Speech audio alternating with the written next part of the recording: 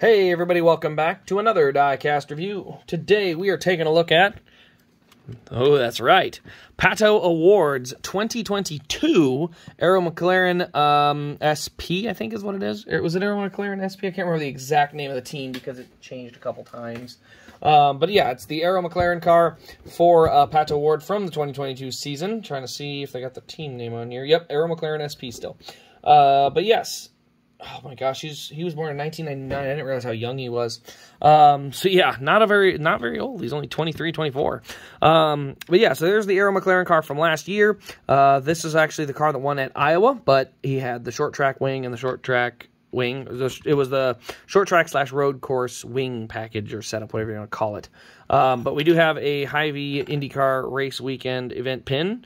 There we go. That's the, the race weekend pin. Uh, but he split the weekend with Josef Newgarden last year, and then Newgarden got both of them this year. Uh, I believe he got a podium this year, though, so that does help.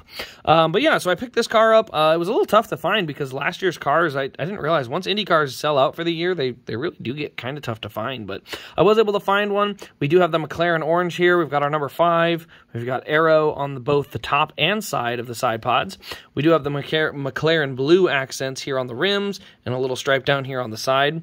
Uh, we'll obviously get a little bit more of that on next year's Kyle Larson car, so I can't wait to see how he runs with McLaren at the Indy 500. Uh, we got Sparco, we got Arrow, NTT, we got Mission Chevy, number five, Arrow again. And then the windscreen, we've got Arrow up top with Lucas Oil on each side. Uh, so yeah, overall the car is extremely crisp. I mean, it just looks super fresh. Like, it is blue, it is orange, and it is black. There is no other colors you will find on this car in terms of the paint scheme. We got the blue, we got the black, we got black rims, we got a black or a blue outer ring, then we got black rims, black tire, black wing, orange, orange, blue, orange, black, blue, orange, black, blue. You know, it's there's no other color. And so this thing looks absolutely crisp, like just sharp. And there's just something about it. I think it's the matte black maybe or the matte color to it with the orange that just really pops nicely. But it's a really good looking car. Obviously, like I said, I would love to have the correct wings uh, for the Iowa race, but overall, I would rather have the correct scheme than the correct wing.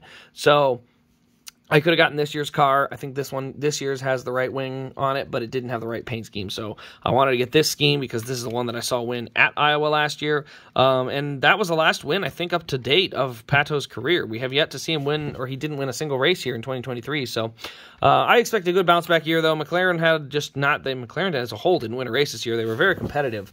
Uh, Rossi and, uh, I believe, O'Ward were top 10 in points. So um, I think we'll, we'll see him back again next year. But uh, anyway, guys, that's really all there is to show on this um, on this car. I guess I didn't show underneath. Yep, still has 2017 on there, but um, but yeah, that's really pretty much all there is to show on this car. Let me know your thoughts on the IndyCar Greenlight 118th scales if you've picked any of them up yourself, and for what reason you would pick them up, like maybe Kyle Larson running the Indy 500 next year.